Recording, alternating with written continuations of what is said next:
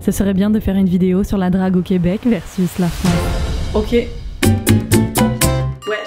Vous avez été nombreux à me demander comment se passe la drague au Québec versus en France. Je sais pas si vous comptez draguer Garou, Célène ou encore Cœur de Pirate, ou encore si au Québec vous êtes intéressé par Nicolas Sarkozy, Lara Fabian ou encore Squeezie.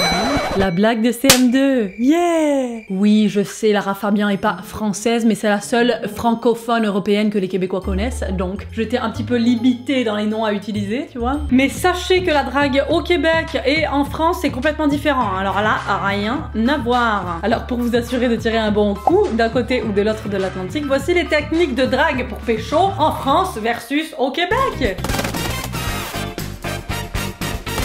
Avant de penser à la drague et aux poissons que tu seras capable d'aller pêcher pour amener sur ton bateau de l'amour, oh là là, je suis romantique aujourd'hui.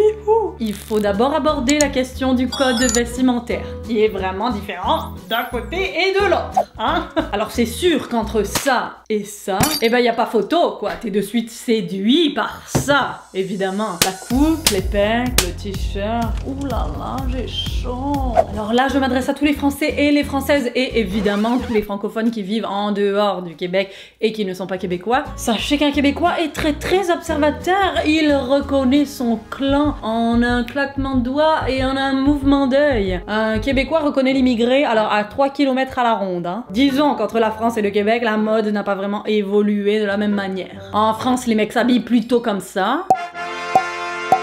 Tandis qu'au Québec, les mecs s'habillent comme ça.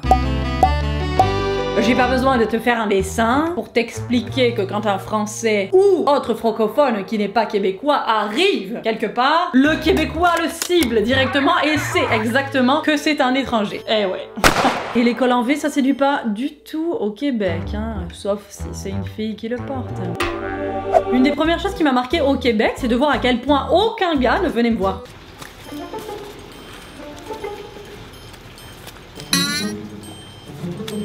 Mais alors quand je dis aucun, c'est aucun. J'ai tout essayé.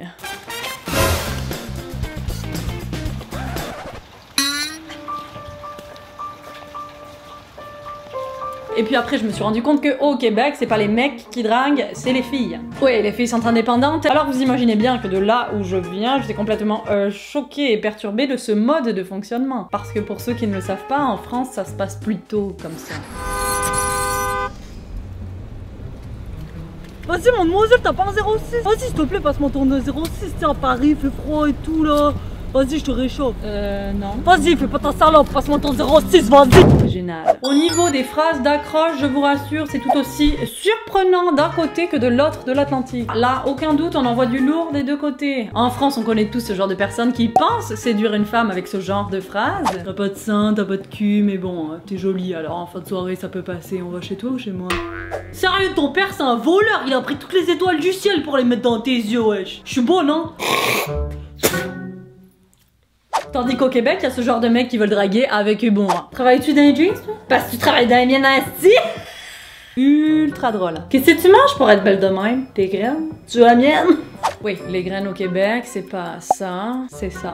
Mais bon, c'est vrai que c'est pas facile de draguer, je le reconnais. D'ailleurs, c'est pour ça qu'il y a des applications de rencontres maintenant. Histoire de briser la glace un peu plus rapidement, quoi. Hein. Au Québec, les gens utilisent principalement Tinder et Badoo. Tinder, cette application où il y a le plus de bits au centimètre carré. Bits Beat. Ah.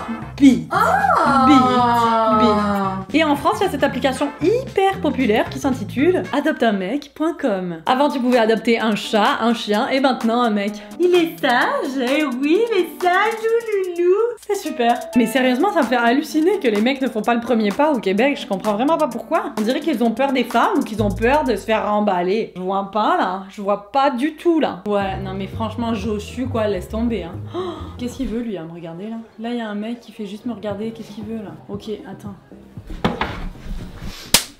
Plus j'ai analysé la différence entre la drague au Québec versus la drague en France, plus je me suis rendu compte qu'il n'existe pas de recette miracle. Alors là, oubliez ça. hein. Mais c'est sûr que tout le monde finira par rencontrer l'élu de son cœur, quelqu'un qui te correspond vraiment. Bon, si t'es au Québec, c'est sûr que si tu offres deux ou trois shooters à quelqu'un, c'est sûr que tu vas rencontrer un petit peu plus vite l'élu de ton cœur. Mais bon, je dis ça, je dis rien.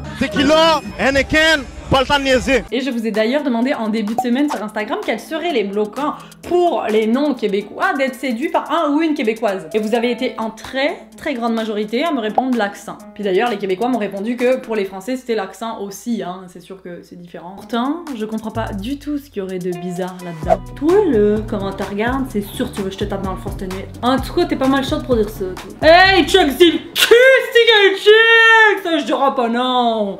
Tabarnak, colisse! Et! Même si cette vidéo est remplie de stéréotypes, elle relate mon expérience qui, elle, a été vécue à 100% et qui est véritable. Dites-moi dans les commentaires quel est le pire endroit pour draguer. Si cette vidéo vous a plu, mettez un petit like juste en dessous. Et n'oubliez pas de rejoindre la Denizy Family en vous abonnant à ma chaîne parce que tous les dimanches on compare des trucs, on rigole ensemble et tout et tout. C'est un truc de fou ce qui est en train de nous arriver. Je vous aime.